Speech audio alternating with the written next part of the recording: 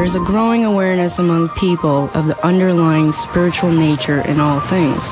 We all want to unite with the energy that makes and guides the universe, but it is the way we see reality that stops us from learning our true nature and purpose.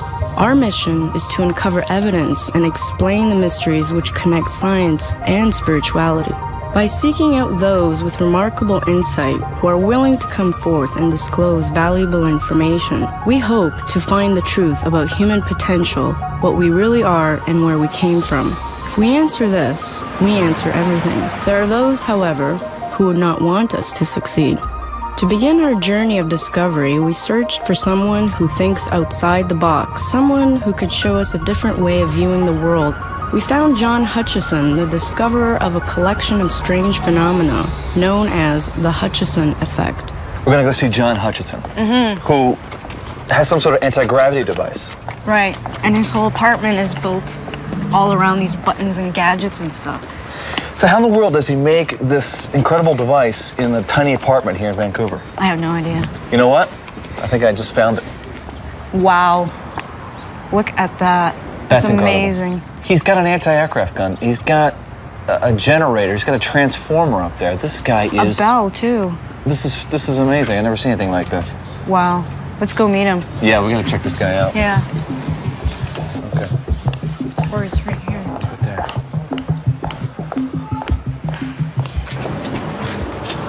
All right, he's gonna come here. There he is. Hey, John? Hey, how are you? I'm doing fine. How are you how doing? How are you? Dominique, nice to finally meet you. Pleasure, ma'am. Hey, I'm Rob. Hi, Rob. How you doing? Good, good, thanks. That's good to hear. I'm not sure what to expect. How can his laboratory also be his apartment? My intuition tells me that he is sincere and wants to share his discoveries with others. Okay, so this is the laboratory. This is the laboratory. And behind this unusual door, you'll find a lot of unique things. And on the door, of course. Central okay. Intelligence Agency. Yes. I see we're not the oh. first people who've been here. No, there's been a lot of interesting folks that have been here. All right, let's take a look behind let's it. see, yeah. Oh, for sure. Behind here we go. Number three here. Wow. Look at all these buttons and gadgets.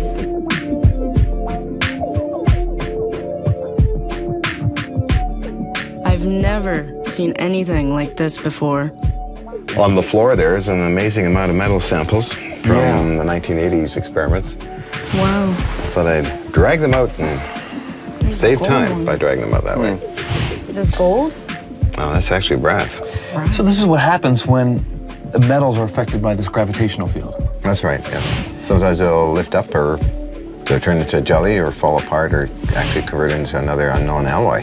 And how long does it take for it to get mushy? It can take a few minutes, sometimes seconds, and it just turns into looks like a pile of gooey metallic stuff, and it just starts moving around, falls apart, and stays that stays that way after the machines are turned off. So by changing the frequencies, you can change the effect that it has on these different objects. Pretty well, yes. Yes, I've, uh, the heaviest object I levitated was 1,500 pounds, and then another person, another team did it too in in the bigger labs. And it's not heat. There's some other process that's going on. Some other process yeah. working on the atomic level, I believe. Yeah. It's the radio waves and unusual things. You ever put any organic substances on this thing? And actually, we did. We put our dinners in there one time. see what happened. And well, it tasted good. So you have a toilet here. Yeah, the the, the throne. She's inspecting it. Oh my goodness grief! uh, believe it or not, I just. How do you do it? I sit there and take my vitamins all in one kind of operation. So what's this right here? That's a transmission unit. Mm-hmm. That I use in some of my experiments. It's a naval piece. And I'll be turning that on a little shortly. How come so much of this stuff is radio gear? Mm, it's all naval radio transmission gear and receiving units. And they use the high voltage and power supplies and that, converting them into usable power like uh, like a Tesla coil has energy. Well, I don't need the sparks, I just need the energy from the different machines. So most of your stuff is, is ex-military?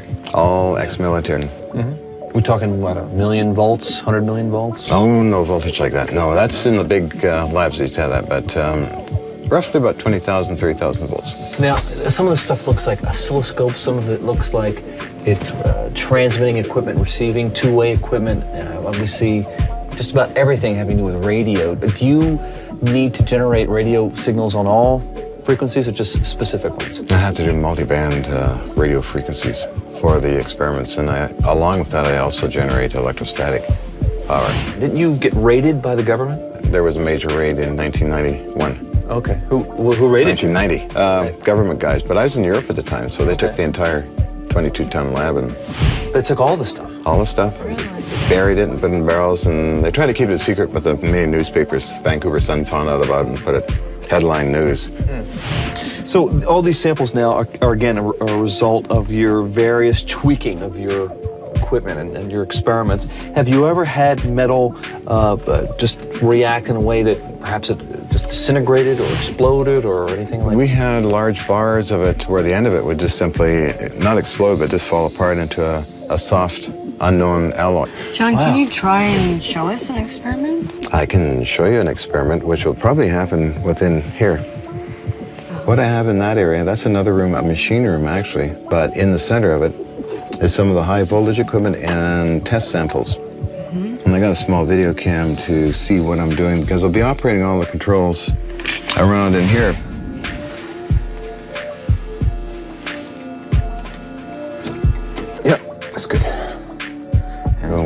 In the back here and turn on the other machines. Ha ha. Okay. We engage certain um, Klystron power supply units. And what I'm doing is adjusting some high voltage in there along with electrostatic energy and RF fields. Go this guy here.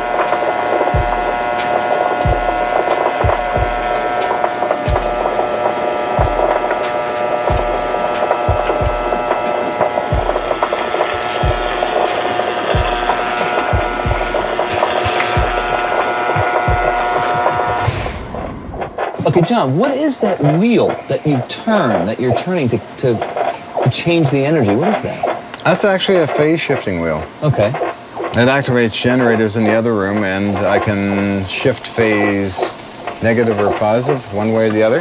All right. And I have an indicator system here that shows me up here when I'm doing it. Or a, also a, uh gauge system where you can probably see it here, negative or positive. If I do it slow, and then I have the, the main one up here, and that engages the what they call variometers. What their variometer is is a coil and has an inner coil that tilts back and forth a little bit.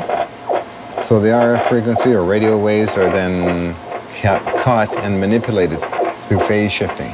This unit goes into a CM11, which is a uh, old style Navy transmitter. Basically here it's just more or less um, monitoring or running those pieces of equipment. I think I'm doing all right here. I got everything on. Power up the energy here.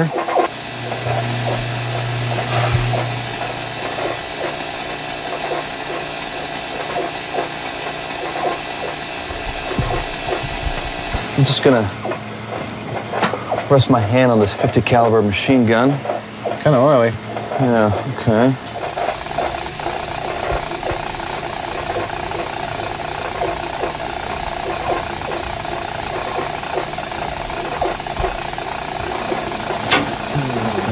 I can hear something powering up.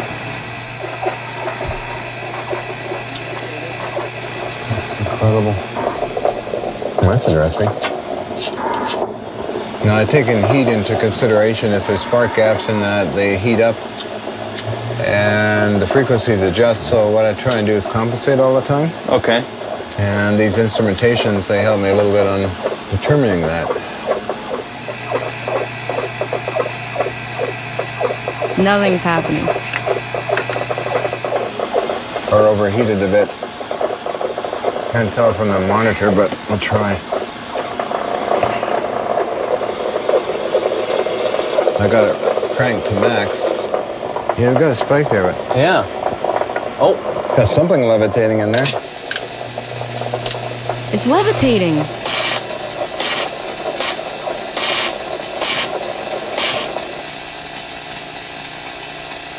Dominique, we're gonna shut it down now. Okay.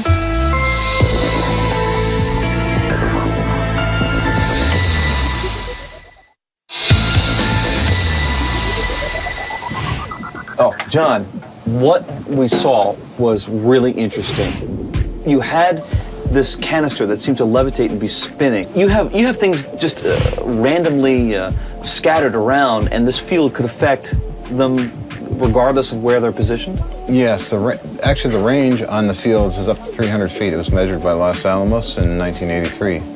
Now, in this apartment, everything is so congested that uh, it affects other people's um, stuff upstairs or next door, and that it is a problem trying to do anything really in in this confined space.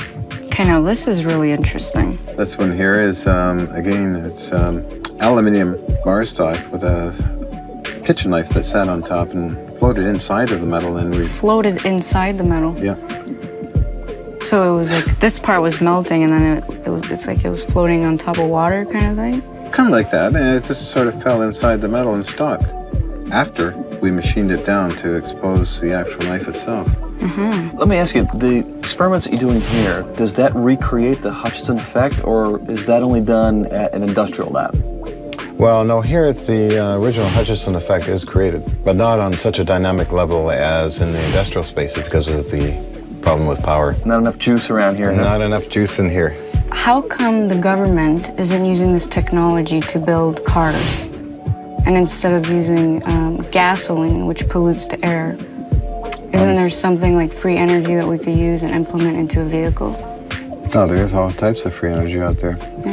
It's known as zero point energy, and it's um, pretty well a bona fide energy source. But in the matter of national security, these guys are keeping it to themselves and experimenting in the national laboratories with this technology. You think the military is using anti-gravity technology for their aircraft? Oh, for sure. They used the high voltage already years ago for the stealth bomber. Give it an extra lifting power. They cover it in a certain material, and then they add high voltage to it, and that gives it a kind of an extended wing. Thanks for showing us the, uh, Yeah. the equipment. We really had a, a very uh, electrifying time here. Actually, so did I. It was a pleasure meeting you. Pleasure, man. Thanks, John. Great. Off to the next adventure we are. Okay, That's sir. right. Have fun. Don't get lost out there.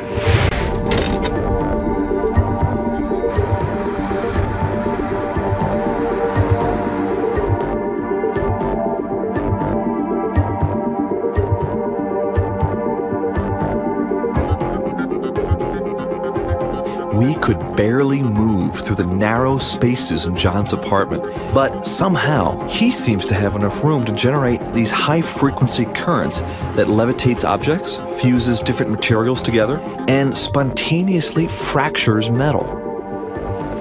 According to John, the Hutchinson effect occurs as a result of combining radio waves and high voltage sources, such as Tesla coils. If this zero point energy can be converted into usable power, it's no wonder the military was interested.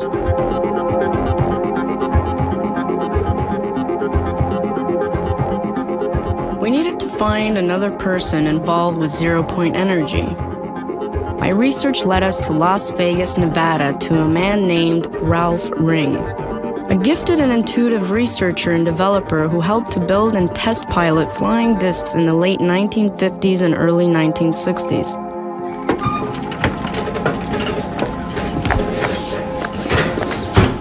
Hello, Well, hello. How you how are you? Dominique. I'm doing fine. welcome. Thank welcome you. To, welcome to Las Vegas. Thank Thanks. you. Thanks for coming. Come on in. Yeah, sure. Welcome to our home. Beautiful, beautiful. Thank you. Thanks for taking some time. I'm really interested to talk to you about these flying saucers that Well, you have not only been building, but flying from what we hear. Yes. well, uh, we started. Uh, at least I started back uh, in uh, the late '50s and early '60s. We've rebuilt, redesigned them for years after that. We want to uh, now turn them into a, a, form of habitation and transportation for people, so that they, their home will be their transportation as well. Ralph, by, by we, who do you mean exactly? Oh, okay. Uh, Well, I should fill you in on that, I guess. Nikola Tesla was a great inventor and uh, a great, great humanitarian. Well, Tesla wanted to get into his field, which was free, if you will, energy that comes from the surroundings. He was hired by um, J.P. Morgan to work with S, uh, Westinghouse and Edison companies and, and the East Coast. And Tesla said, I've, I've got it made. I think we can now transmit electrical power through the Earth, through the ionosphere, without any wires or, or telephone poles. If you gave a device, like a free energy device, a generator that would, would uh, service all their needs in their home for free, they could then bring out their creative talents, which they were born with and been suppressed because they've had to toil for a living. They could be tremendous artists beyond beyond our dreams, tremendous engineers beyond our dreams. J.P. Morgan was not buying it. He said, no, we're going to have to tear this stuff down. So Tesla kind of pulled back into himself and decided, you know, well, I guess it's not time for this. Well, at, at, that time, he was living in the New Yorker Hotel, actually, in New York. And um, there was a fellow by the name of Otis Carr who he's going to school, and to supplement his, his income, he worked as a clerk in this hotel. And uh, Tesla and him became acquainted. And Carr was a sponge. He loved science in every way, shape, or form, but he was a natural science. He believed in the same thing Tesla did, that there's no limits to natural science, and everything should be on a simple level. Tesla said, they're, they're not interested in my, my time. I want you to take everything I can teach you and go in your time and see if they'll listen to you. And if you don't make it, you're going to have to pass it on because at the rate we're going, we're on a self-destructive course. Carr said, I will, I will. And he's, he got his own lab started and, and started uh, uh, really getting into a lot of free energy devices and building them. So he built a spaceship? Mm-hmm he's building small spaceships then, and he had different sizes, different models. So tell us how you met Otis Carr and how you began working with these flying saucers. There's a company, Advanced Kinetics, in Costa Mesa. That's where we were living in Costa Mesa, California. And they're looking for a research and development laboratory technician.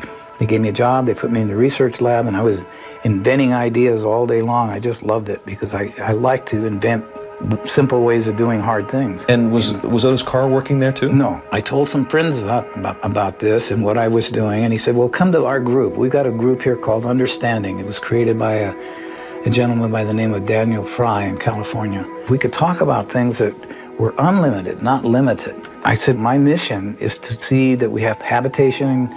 and transportation in, in one vehicle. And he said, Well, you, you sound like a guy that's back east getting in trouble right now. His name is Otis Carr. And he put in a patent for a levitation device, and they, they wouldn't give him the patent. They had to, he said, you've got to pull that levitation out and anchor it on the ground, and we'll give you a patent on an amusement device.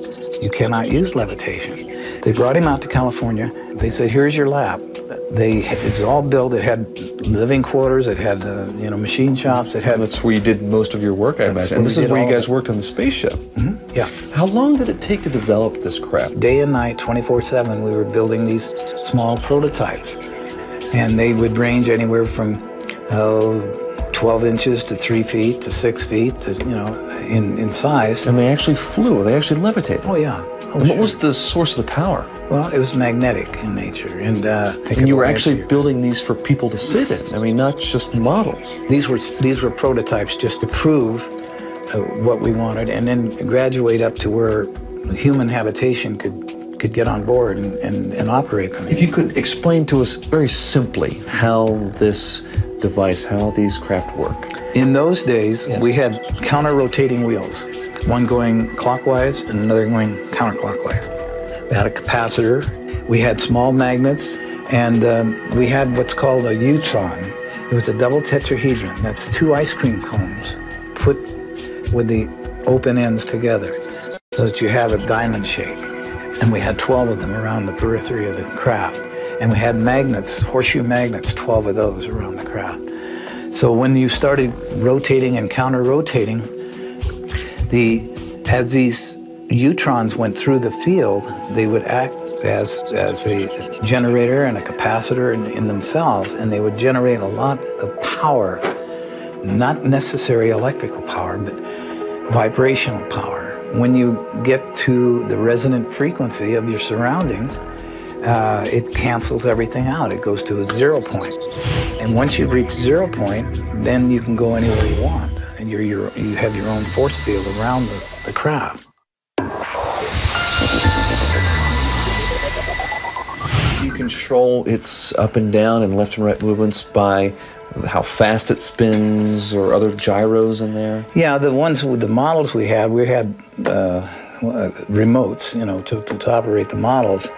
But when when you get up into the larger craft, it's not necessary because everything then, as Carr was explaining, the difference between the brain and the mind is synergetic. You operate the craft like it was a friend. It's, it's like it was a living thing because connect with the craft. Yes, and and that's that's the only way that our particular craft would work. There was a mental interface? Yes. So it's wow. kind of like yes. the thoughts carry out a vibration as well, mm-hmm. and you have to mm-hmm. go in harmony with the ship. So wow. some sort of morphogenic field was created, perhaps, some sort of almost yes. living field. Yeah, absolutely.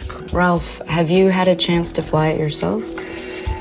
Flying is an, an antiquated word when it comes to the type of spaceships that we were operating because they don't conventionally fly. Or levitate. They, they levitate and they teleport. They move through this thing called time and space. They actually traverse through multi dimensions. So you created an artificial gravity field, is it safe to say? Uh, yeah, you could say that. Yeah. Is this in any way related to the work of John Hutchinson and his anti gravity experiments? Well, it's along the same lines. I know John, he's, he's an associate of our group. And as I mentioned before, there's all forms of levitation. But where ours differs from John's is that in order to operate our craft, it takes spirit, it takes, it takes a synergy. It, you have to recognize the craft as an entity of, of, of life itself. It has a consciousness, if you will, of its own. What John is doing is wonderful. I'm glad he's discovered a tremendous field of uh, levitation and, and the composition of, of metal and uh, molecular structures. Ralph, can you tell us about your experience as being the co-pilot of one of these discs? Sure. The next stage up was the 45-foot craft. It was they had already designed and built it, and uh, they wanted us to test it. So we got on board, and near the center of the craft was a, a giant crystal ball in a kind of a gyroscopic holder. Underneath that was a laser that came up through the bottom of this crystal. And as the light came up and dispersed around this crystal, it lit up the crystal from infrared all the way, way around to ultraviolet. And then Carr said, okay, guys, what I want you to do is just clear your brain and use your mind. So this is an experiment. And we're going to go outside and back in through what's known as time and space. And all you have to do is concentrate on what I'm what I'm about to tell you. We're going to go down range 10 miles. And that 10 miles downrange is equated to the vibratory rate of the color aquamarine. The colors just kind of dissolved and started turning into this brilliant aquamarine. And it lit up the whole ship. And then he said, okay, that's it, boys get out of the craft and we're going to debriefing.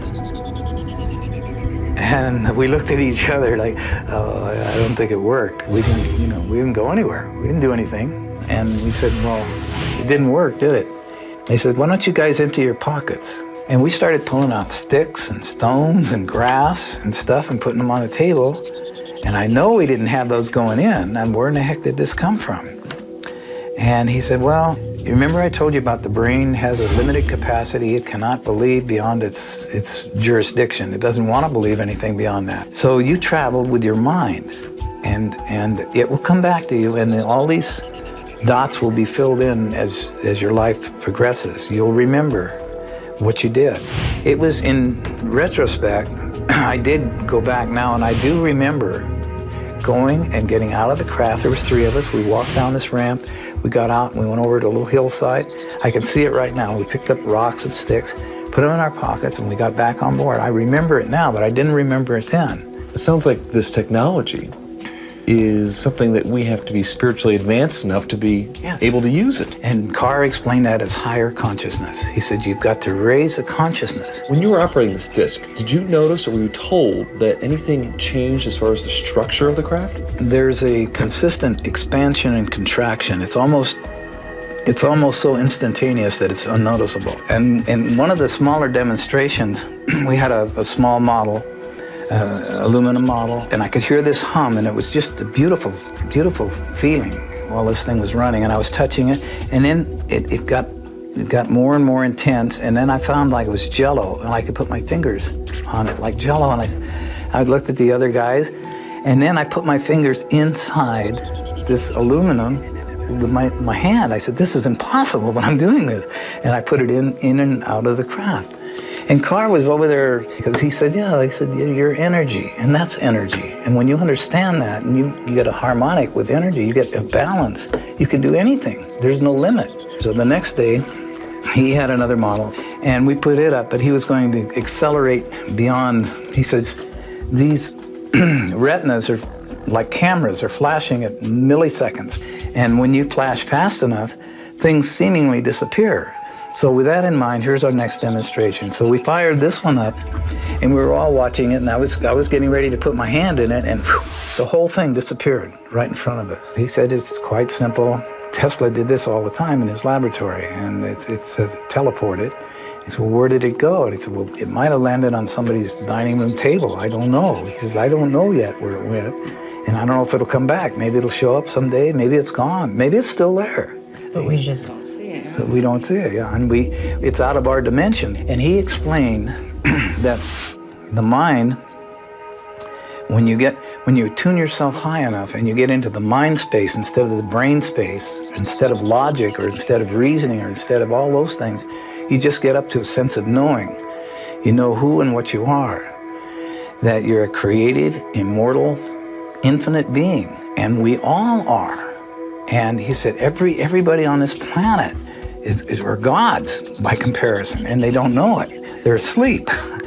and until they wake up, this is what our job is. We're making these toys, trying to get them to wake up to realize there's no limits to what they can do. They don't have to live in servitude. They don't have to live in poverty. They've just been told that by people that uh, unfortunately want to control things. Carr explained to us that the brain that we have operates this water vessel which we live in. But the energy that inhabits the vessel is who and what we are. We are energy. We're not we're not bodies. The energy is all magnetic in nature. It's free in nature. We're swimming in energy. Well, before we could get any further with it, we were uh, invaded, if you will, by um, people with a piece of paper that said they were at this time closing us down. The paper read that we were attempting to overthrow the monetary system of the United States, and that could be construed as high treason, and we were shutting you down and confiscating all your equipment. Wait a minute. Didn't John Hutchison say the same thing about the Canadian government? That they confiscated his entire lab at one time? I stayed in touch with Carr as much as I could, but uh, as soon as I contacted him, I was contacted by somebody. We told you to stay away from even thinking about this. Well, what did the energy companies do to Carr?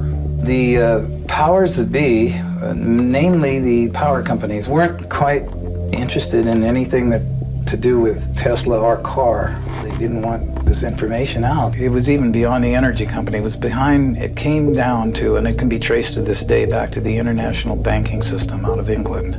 That's where this all started, the monetary system per se. Because his inventions were so revolutionary, would it upset the whole banking system? Yes, it would upset everything. They had a very, very uh, earnest effort put forth to, to eliminate Carr and his, and his inventions and his ideas. Ralph, do you think you're going to build models again? We're doing it now. We have pods related to research facilities all over the United States because I'm getting a lot of help, a lot of support. And there's people like me, people more brilliant than me that are involved in it. And we're waiting not for the uh, uh, the crafts because they're they're waiting in the wings. The crafts are ready now, but we're waiting for the consciousness of the people to raise up high enough and to start accepting these gifts that we want to give to them. Well, hopefully that's changing. And hopefully in time, we'll see people flying around in these crafts of yours. Absolutely. We're going from the uh, Flintstones to the Jetsons. Jetsons. Yeah. Ralph, thanks so much for talking to us today. Well, you're quite welcome. Extraordinary. It's been my pleasure.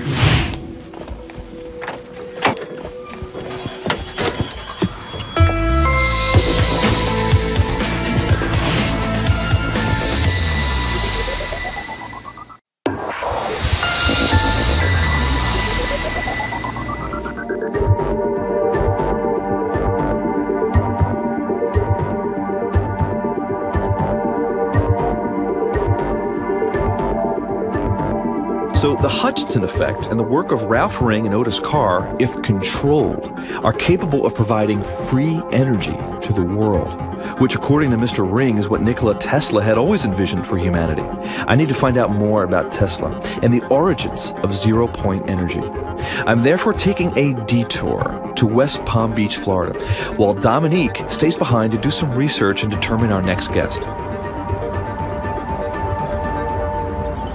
In Florida, I'll be interviewing a man named Jeff Behary, the curator of the turn of the century Electrotherapy Museum. He should have more insight into what Tesla was and on his inspiring work.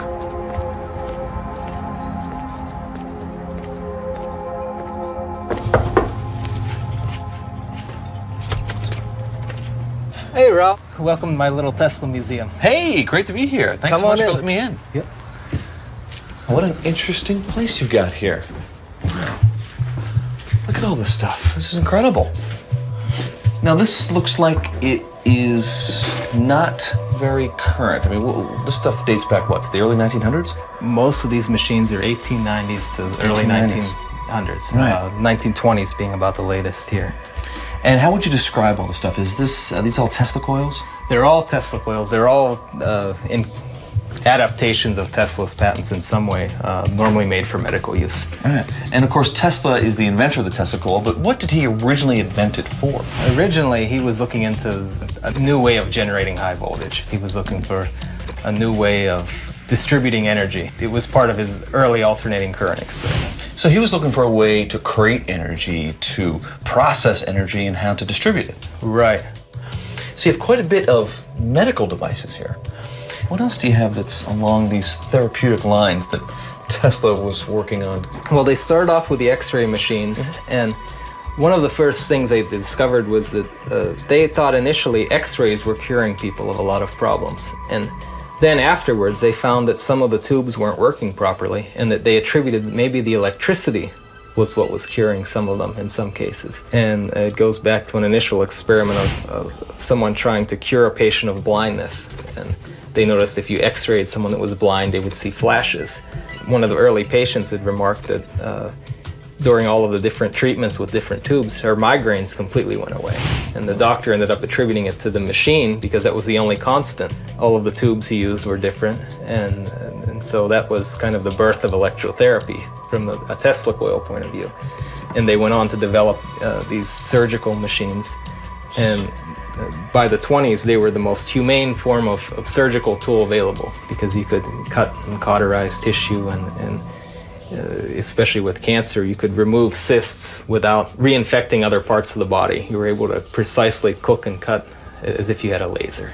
So these were actually used to perform surgery on people. Right. Using high voltage instead of a scalpel? Right, exactly. There were tools such as this that could connect to those machines, and, and you can regulate a, a spark length and literally plunge into tissue or cut around it, remove what you wanted, and leave what you wanted left alone, left alone. Sounds like something out of Star Trek. Yeah, it, it is. But how old is that? We're talking, what, over 100 years? This is 1920.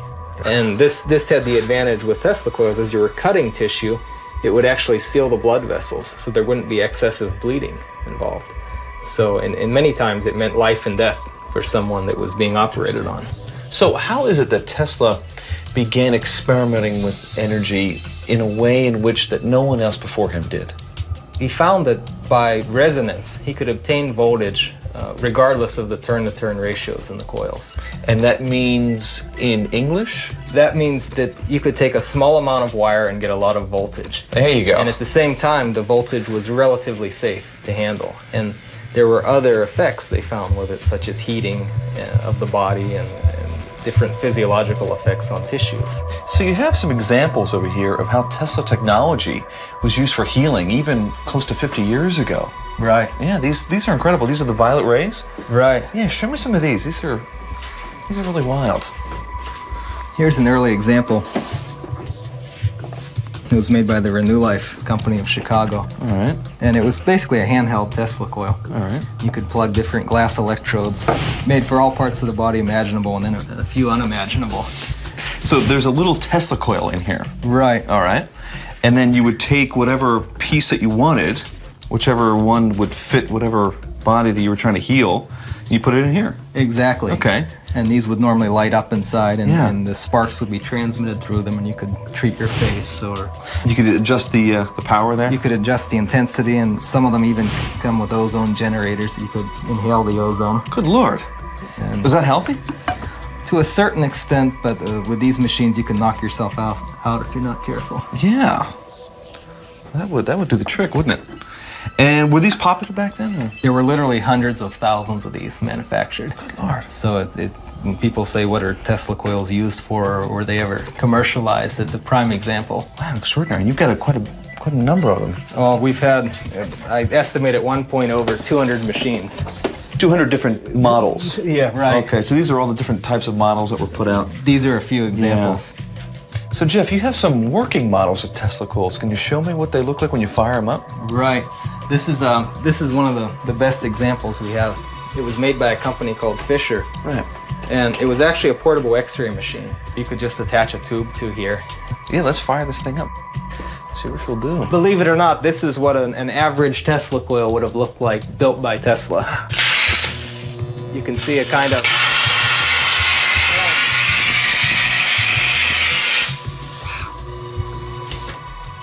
So how many volts was that? that's around 250,000 volts. 250,000. So you have a lot of different Tesla coils here, and they all do their own thing, don't they? Right. Well, show me a few more because I'm anxious to see other Tesla coils doing different things. Sure. Okay.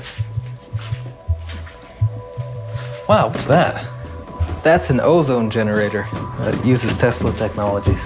So does this thing still work? Is this something that you've made, or? Yeah, I've made this one here. Uh, it can still be fired up. Um, you don't see much of a of a spark from it, but We'll get some ozone though. in in the dark, Yeah. if you attach some wires to it, you can actually light up a room by. Uh, this is actually the the electric uh, effluves produced by this machine in the dark. So you can actually use it as a light source. Probably not the most efficient light bulb ever, but it would work. Right. Hit 50,000 volts. All right, yeah, let's uh, turn it on. See, see, see what it'll look like there.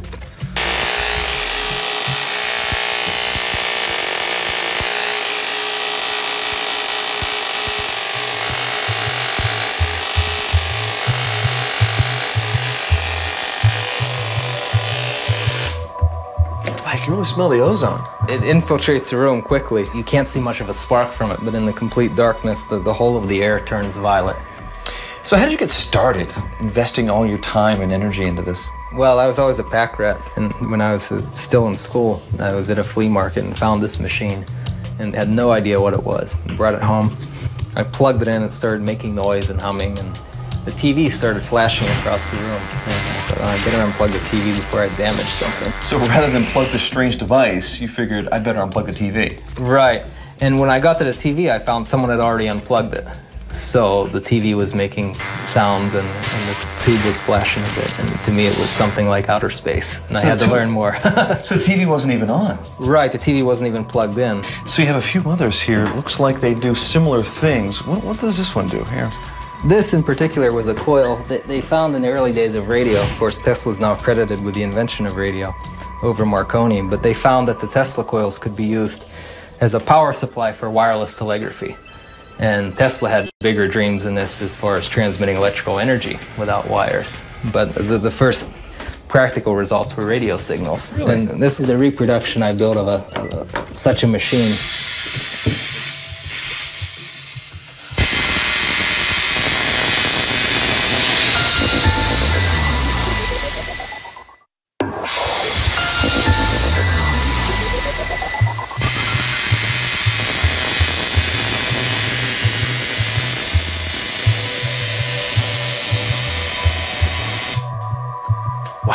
Many volts is that?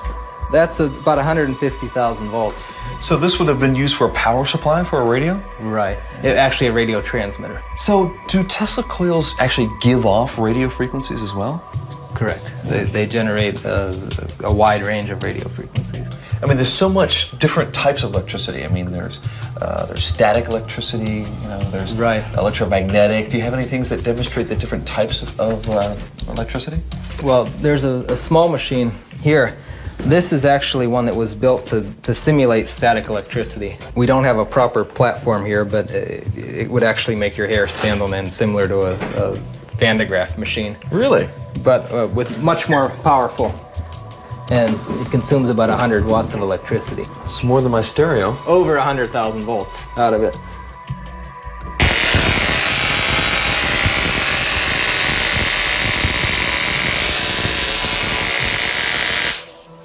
Uh, this type of machine, the output can be regulated to produce almost DC, where you could charge Leyden jars or do experiments like Ben Franklin was doing 100 years earlier, only a much more simplified method. So we know electricity can make things spin and turn and flip. How about levitate? Is there any connection between these high voltages and making objects actually lift off the ground? Uh, there are eddy current effects that, that you can use with Tesla type circuits where you can have a a large electromagnet with an iron core and place something like an aluminum ring on top. And the, the ring will act like a short circuit of a, of a wire of a transformer, and you can actually send these rings into the ceiling if by accident.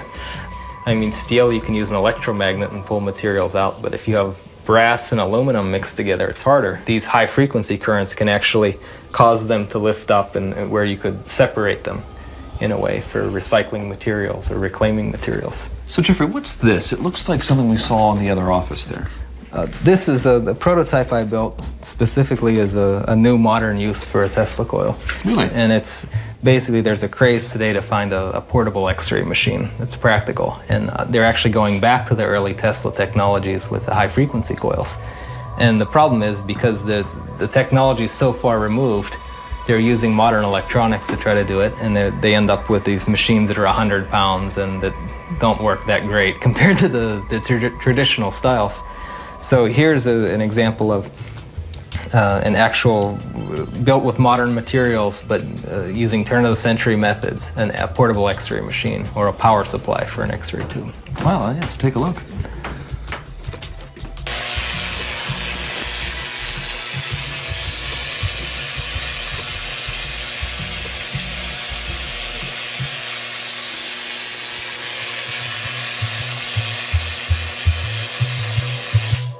So what you're saying is that there is a need for having portable X-ray equipment to take into combat, say? Right. Yeah. One, one of the things interesting, the tsunami, there, there were so many victims. They, how, how are they going to identify the victims on location? And, and you can use dental records. And oh, the problem was how do you get X-ray machines into, into the field, into rubble, yeah. more or less. Right. And you can run this off of a, of a series of batteries. Right. Right. You could, if you wanted, you could run it off of a computer battery backup, even a small one. Now, of course, if this was part of an X-ray machine, it wouldn't be a big spark that way, but you would use that energy to drive the uh, the X-ray tube. Right. You would have a regular X-ray tube head connected instead of those spark terminals. Right.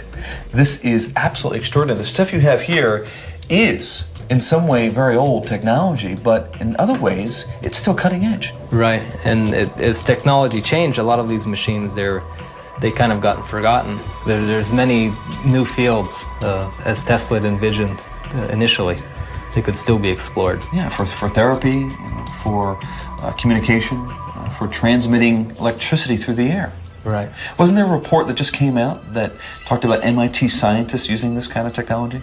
Right. Someone, someone was lighting a bulb from a, a, few feet away, and it's something that Tesla was doing a few hundred feet away. Just sending electricity through the air? Through the air and, and through ground waves also. So there's really no limit to where this technology can take us in the future, is there?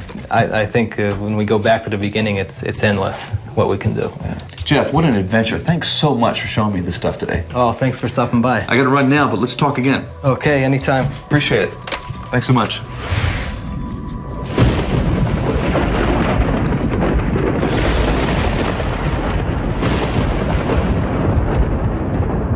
Nikola Tesla once said, To cause at will the birth and death of matter would be man's grandest deed, which would give him the mastery of physical creation, make him fulfill his ultimate destiny. He believed that we have the power to create anything. He taught his protege, Otis Carr, that. Otis Carr then reveals this message to Ralph Ring, and John Hutchison follows in their footsteps. They were all inspired by Tesla to experiment with zero point energy and evolve their higher consciousness.